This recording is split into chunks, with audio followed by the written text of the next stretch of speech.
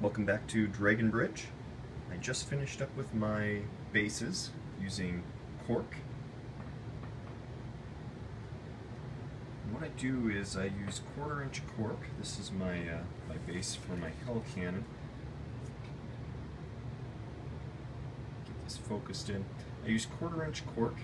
I break it off with my hands uh, and fingers and just get it as close to the base edge as I can then build it up in certain areas that uh, that I feel like the base could use some structure. This particular spot here that was built up, that's where the sorcerer is going to be standing. That's casting the spell into the uh, the spawn that the Cygor is going to be hurling at my opponents. Um, this base is for my Gorebeast chariot, which is actually a uh, Gorgon model. So he's going to be standing roughly like this.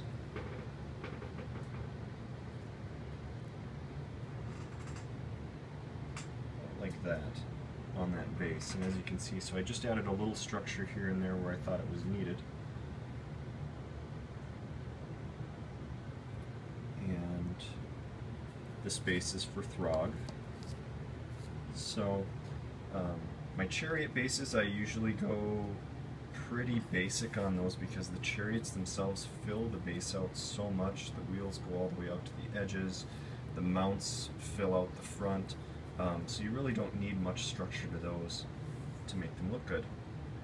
Thanks for watching, and uh, hopefully the next time I'm making an installment here, it'll be uh, either painting these up or working on painting up my Cygor there. Thanks much. You have a great day.